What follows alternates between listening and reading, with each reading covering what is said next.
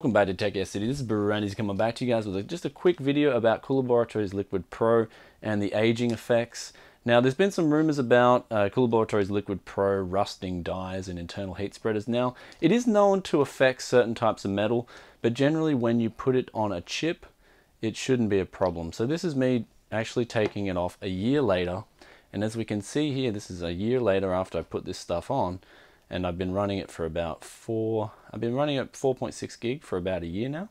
And you can see here there's absolutely no problems. It hasn't, um, it hasn't, yeah, it hasn't ate the metal or anything like that.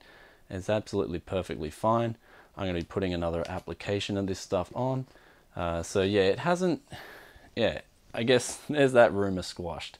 Cool Laboratories Liquid Pro is absolutely fine on your die and on your heat spreader as well. So anyway, if you guys like this video, please give it a thumbs up and I'll catch you guys soon with another tech video.